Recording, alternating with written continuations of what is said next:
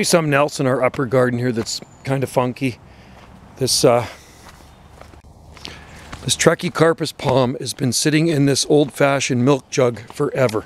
So the bottom of that milk jug is rusted out and uh, planted in there as a seedling. I'll never get that palm out of there because of the shape of that thing, but that thing is rooted right into the ground.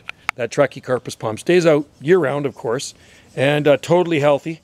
Water it every so often, and uh, it's a it's a pretty happy camper. So it's I don't know I, don't know if I call it a bonsai. I don't know what's going to happen when the trunk gets too big.